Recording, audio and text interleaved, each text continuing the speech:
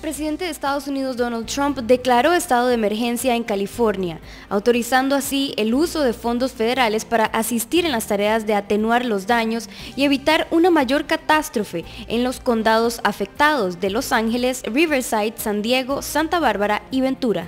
Los incendios en California se extienden al norte de San Diego. Los fuertes vientos que alcanzan velocidades de un huracán y las condiciones de resequedad dan fuerza a las llamas condiciones que según las autoridades continuarán hasta el domingo. Para este viernes se detectó la creación de un foco más, elevando el número de incendios a 6, que hasta el momento han consumido 57 mil hectáreas en el estado californiano. Al menos 5.700 bomberos tratan de contener las llamas que parece se podrían prolongar por semanas. Las llamas eran tan grandes que hicimos las maletas y ya no queda nadie. El fuego ha arrasado con al menos 500 edificaciones y ha obligado la evacuación de al menos 200 personas.